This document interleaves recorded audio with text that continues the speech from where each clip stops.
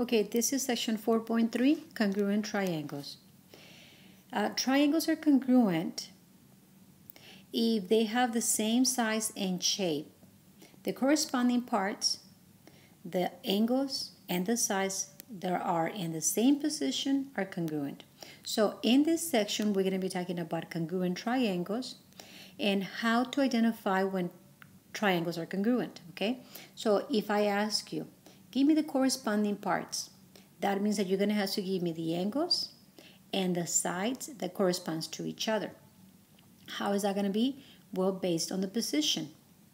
For example, here, I want you to, you know, make sure that you follow the, the statement here.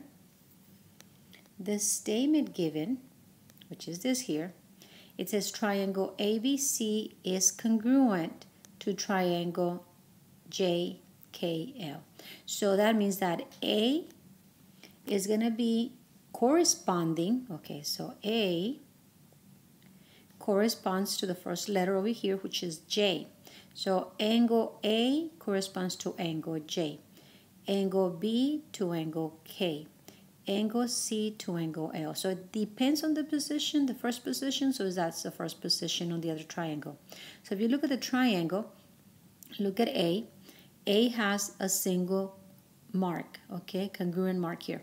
So this one also has on the other triangle is J has a single mark. So these two correspond to each other.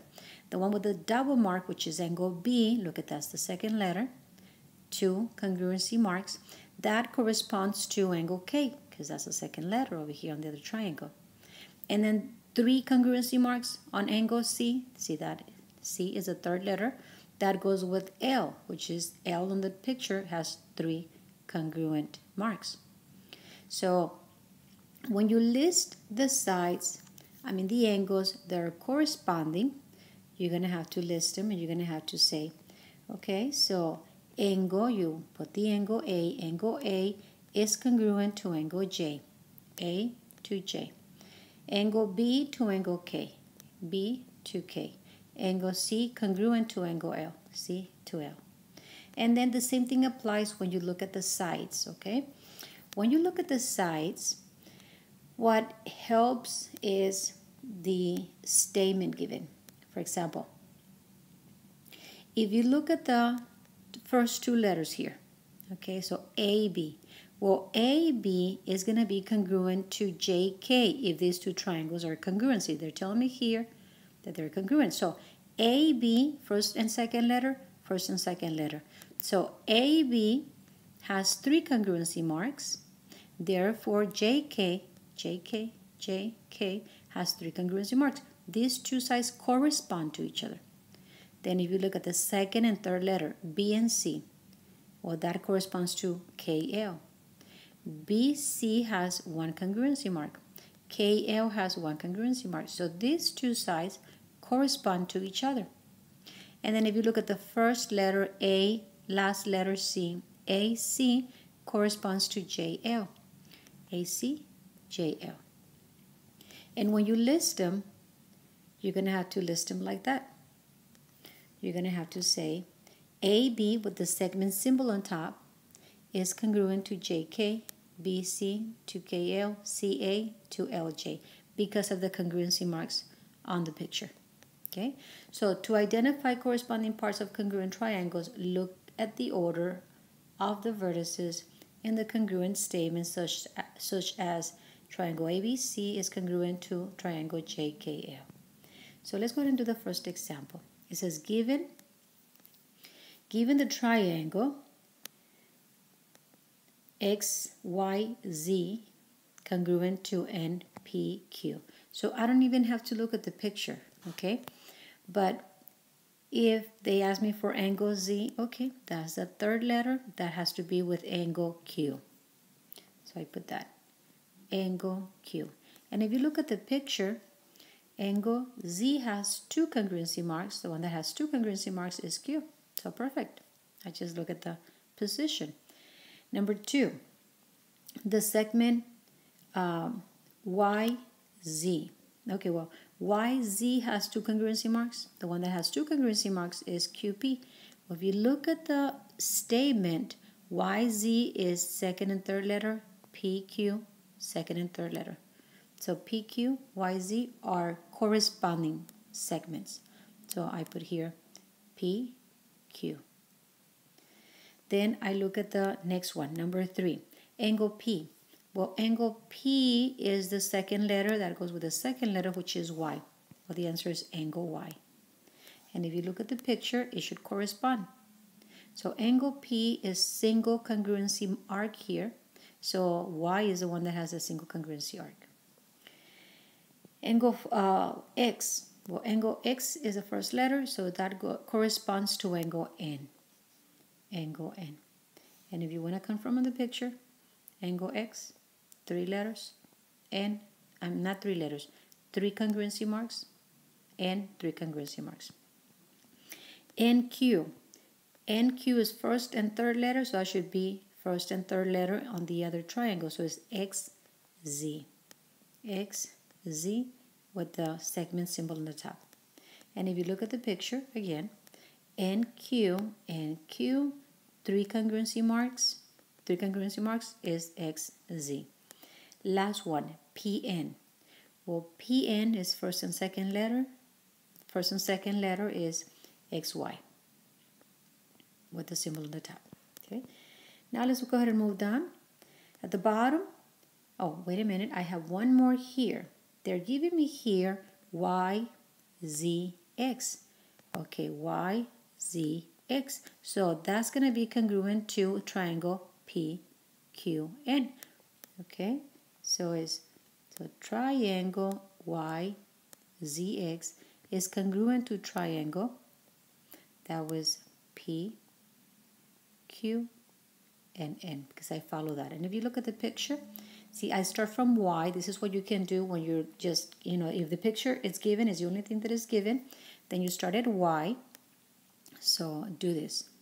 It's going from y to z and then from z to x. So if they only give you a picture, then go with the corresponding you know marks. So it's single congruency mark, and then it goes towards this, the double congruency mark. So that has to be single towards a double, so it's P to Q, and then from the double to the triple congruency mark. So that would be P, Q, and N. So that's what you will do if the picture is given only, not the statement. Okay, so here they're giving me uh, one more time it says triangle EGF okay EGF it goes from first to the third and then to the second well it has to be corresponding to first third and second so I'm going to complete my statement triangle R T and S okay so they're asking me number seven, what is the measurement of angle, well, of x? Well, x, if you can see x, that is on angle E. And since angle E, let me erase what I have, okay? So since angle E, if you look at the statement, angle is the first letter that goes with angle R. So R is 90. That means that E should be 90. So I put that. I'm going to put 4x plus 6 equals 90. Then I solve for x, subtract 6. That would be 4x equals 84 divided by 4. That would be 21. So x is 21. Okay, now they want me to find y in problem number 8. Okay, so if I, I look for y, where's y? Okay, so over here at t, well, t corresponds is a third letter with g. Third letter with g. So that measurement, angle t, should be the same as angle g. So I'm going to write it over here. So the measurement of angle t is the same, is equal to the measurement of angle G. So since T is 6y minus 2, Okay, that looks like a 5. Let me just let me just make sure that it is a 5. It is a 5. I'm sorry. Yes, it's a 5. Okay, great. So let me go back. Okay. Sorry. Okay. Oops. Okay, well, I think that's good enough. Okay, let me get my eraser. Let me see if I can erase that. I cannot erase that. Okay, so I'm going to have to just rewrite it, okay? So forget about that. Angle T, it's 5y minus 2 equals to 28. Then I solve for y, add 2 to both sides. 5y equals 28 plus 2 is 30 divided by 5. So 30 divided by 5 is 6. So that's 6. Okay, measurement of angle F. Okay, well, angle F, since I know that angle G is 28 and angle E is 90, if you remember yesterday, we talked about the corollary on the two acute angles equal to 90. So angle F is going to be 90 minus 28, which is equals to 62 degrees. ST.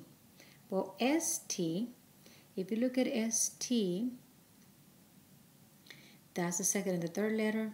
FG is second and third letter. So that means that those two segments are congruent. So I can let them equal to each other. Let me let them equal to each other. So FG, it's congruent to ST, which means that 3z minus 8 equals 2z plus 4. Then you just solve for z, that is 2z. Then add 8, that is 12. And then divided by 2, so x is equals to 6. But they want st. So I go back and I put 6, 4 is not x, is z. Okay, let me come back. Change that letter. We're so used to the x that I kept the x. But no, it's z. So since z is equal to 6, I'm going to substitute z for, for 6. And 6 plus 4, that is 10. Okay? So this is the first part of section 4.3.